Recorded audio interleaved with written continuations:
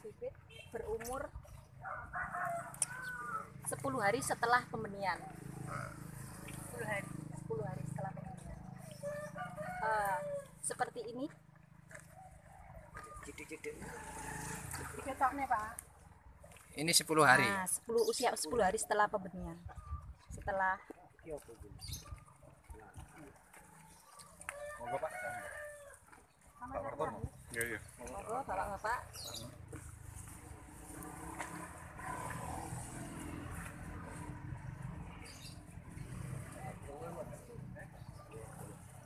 Ini jarak per lubangnya kurang lebih 20 cm. Sehingga nanti untuk pertumbuhan ini kebetulan tanaman selada jadi bisa lebih optimal.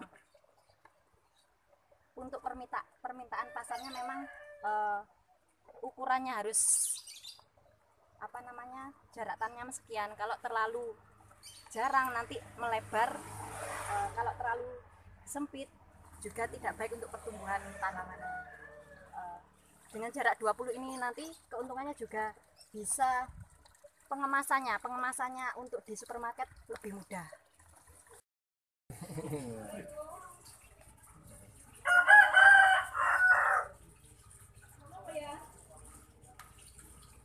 Yes, oke.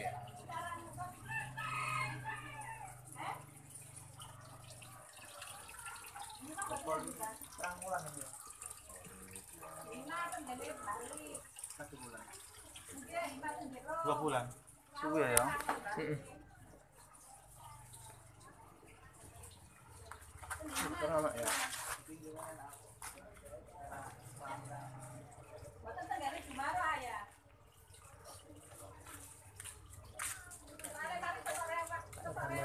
Telem. wow saking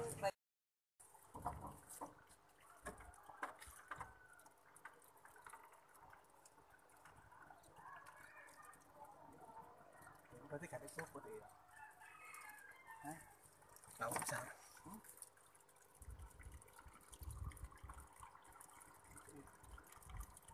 Enggak usah.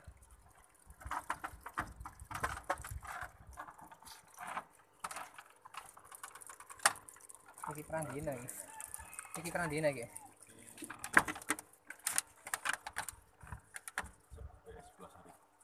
Sehari ya.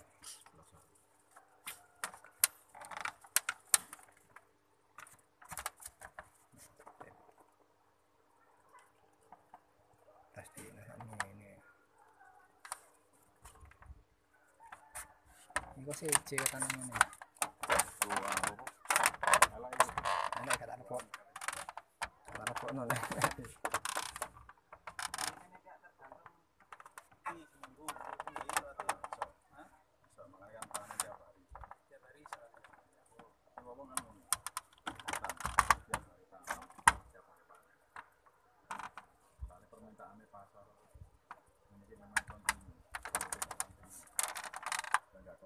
Pak Imron sebagai pionirnya ya di sini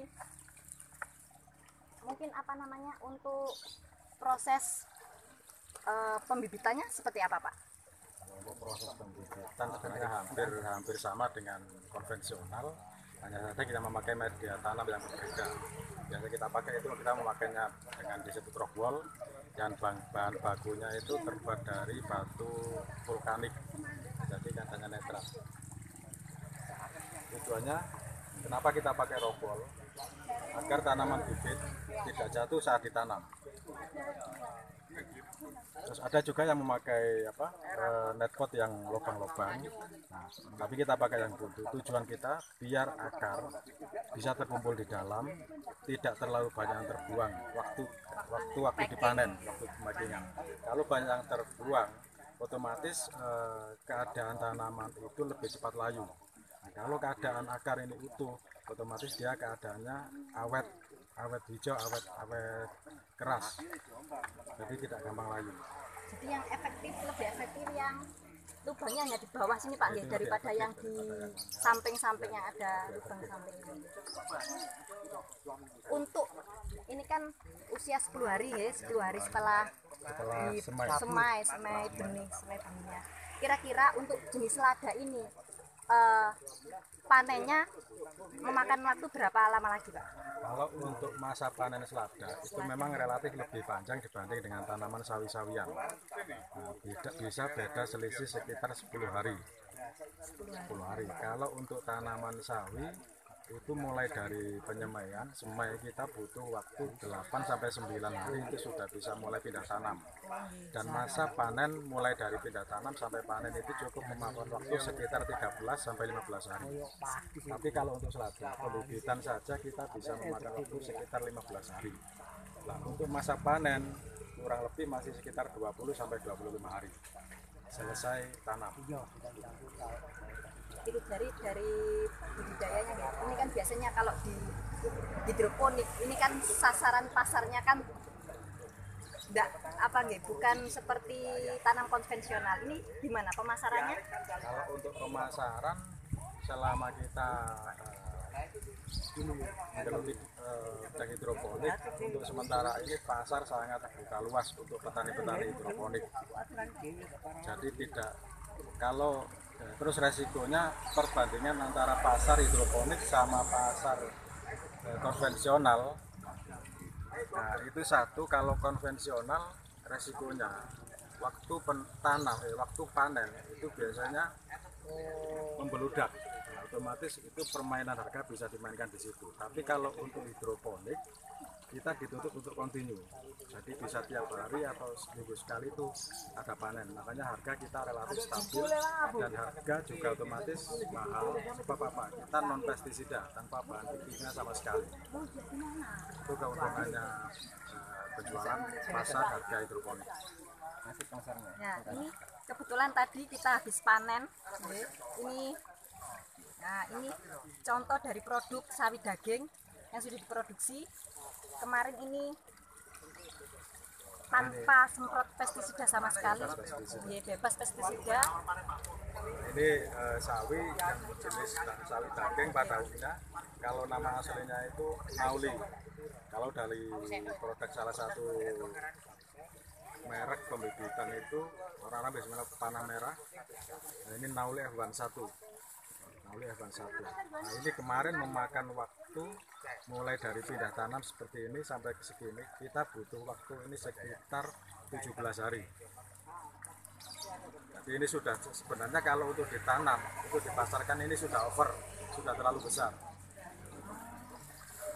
Ini berarti ini tadi sudah lebih panen nih, Pak. Sudah Ini ya. panen. Untuk benihnya sendiri kan di pasaran kan ada banyak macamnya, ada panah merah, ada iswes, ada dari bisi, ada dari pertiwi. Kira-kira itu pengaruh enggak untuk eh, digunakan pembenihan di hidroponik? Kalau un- kalau untuk pengaruh bibit sebenarnya nggak ada. Nah, yang paling utama itu sebenarnya adalah perawatan. Perawatan kalau segala macam ada panah merah, bisi atau pesawat atau segala macam itu kalau menurut saya itu sama saja. Yang yang bisa membedakan kualitas ini bagus apa tidak itu dari perawatan.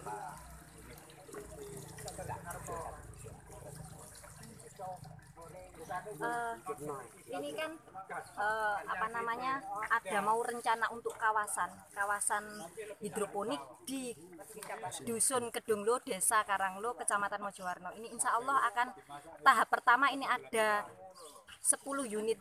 Setiap unitnya ada 20 pipa 20 lonjor pipa sepanjang 4 meter. Yang tersebar di empat empat titik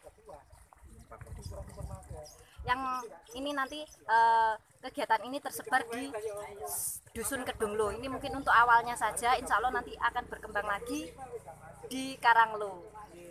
Rencananya ini nanti mau akan dibuat seperti kawasan agrowisata hidroponik di Karanglo. Mungkin nanti pengembangannya tidak hanya di hidroponik ini mungkin nanti akan ditambah lagi spot-spot spot-spot untuk menarik pengunjung agar apa namanya eh, kegiatan ini bisa berkembang lagi lebih baik dan bisa menambah pendapatan masyarakat. Untuk jumlah panen saat ini itu paling maksimal berapa untuk saat ini? Kalau untuk saat ini eh, Satu harinya berapa? satu hari kita mampu un- Yang pertama ini kita tanam eh, ada sekitar 200 paralon. 200 paralon dan ada penambahan lagi sekitar 400 jadi total sekitar 600 paralon. Setiap paralon itu kita kasih 20 titik. Nah, itu kita sudah mampu memenuhi perharinya sekitar 50 kilo. Pengembangan dari kegiatan hidroponik ini saya rasa tidak hanya untuk budidaya ya Pak. Eh, di kelompok tani Kedunglo ini juga bersedia untuk seandainya ada pihak yang mau kerjasama untuk belajar pelatihan eh, pengadaan pembibitan eh, budidaya hidroponiknya bahkan untuk pemasarannya pun insya Allah di sini siap menampung ya Pak siap menampung bahkan ini untuk di sini saja ini masih masih kurang pasarnya. Uh, demikian liputan kami dari kelompok tani Kedunglo kegiatan hidroponik. Uh, saya akhiri wassalamualaikum warahmatullahi wabarakatuh.